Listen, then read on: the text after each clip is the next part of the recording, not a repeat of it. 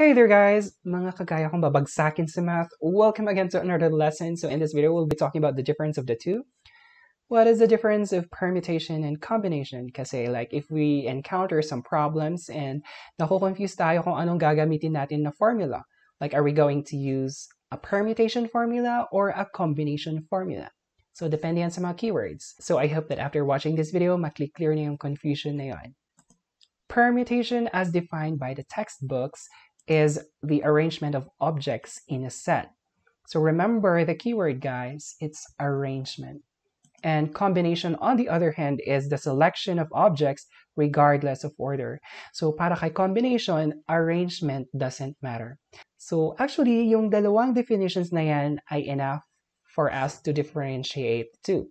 But let's have an example to better understand them. Okay, so you might have seen these locks before. So one of them is a permutation lock and the other one is a combination lock.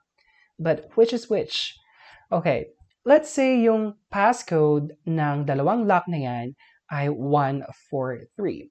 Like for lock A, kung i-input natin yung passcode na yan, we have to like follow the arrangement of numbers. Like sa first slot, we have to input 1, 4 ang i-input natin sa second slot, and then 3 sa third slot. So, dapat naka-arrange yung 1, 4, 3. Kasi kung hindi, hindi mag-unlock yan. Okay? So, lock A, may arrangement. For lock B, kung i-input natin yung passcode, it doesn't matter which number we press first, di ba? As long as press natin yung tatlong numbers na yan, yung 1, 4, 3, magbubukas yan.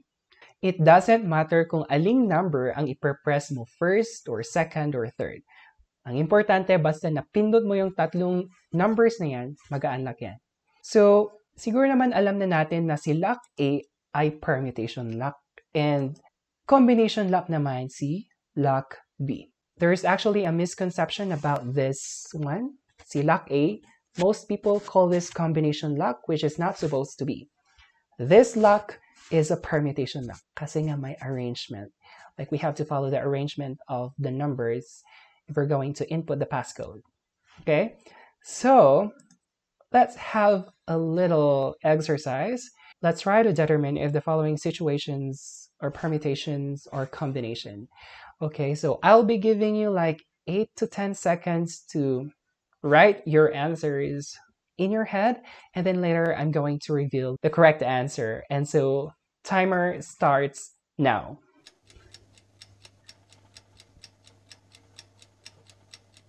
Are you done? Okay. Time's up. Siguro naman naka 10 seconds na tayo. Okay, so let's reveal the correct answers.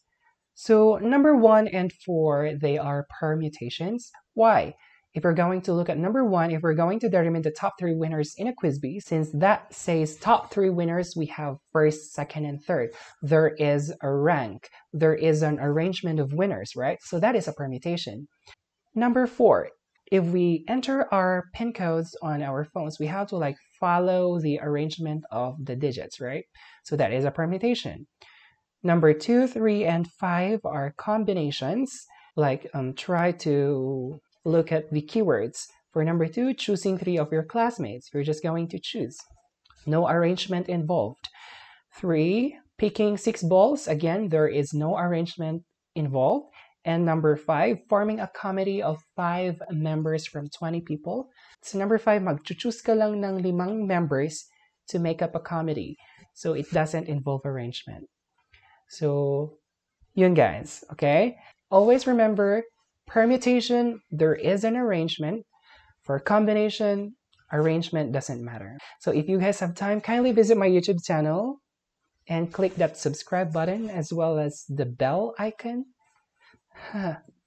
See you guys in my YouTube channel.